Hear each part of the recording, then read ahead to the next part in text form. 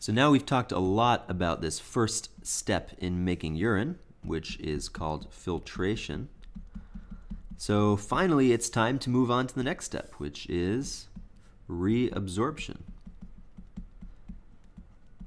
And if you remember, way back in the beginning, we said that the two main purposes of the kidney, there are a lot, but the two main ones are to one, excrete wastes and toxins, and two was to regulate the amount of water and salt, we said.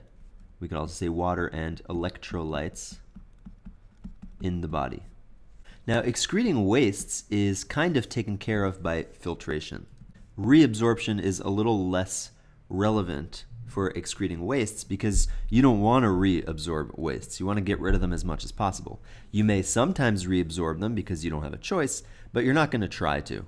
Whereas regulating water and electrolytes is all about reabsorption because the amount that you filter is far too much. You don't want to excrete the whole quantity that you're filtering here, and so you end up wanting to reabsorb most of it. And if you want to excrete more water or more electrolytes, then you're going to reabsorb a little less. If you want to excrete less water and less electrolytes, you'll reabsorb a little more. So now that we're going to be talking about reabsorption, which happens here in the nephron, it's really going to have to do with this regulation of fluid and electrolytes. And which one are we going to start with?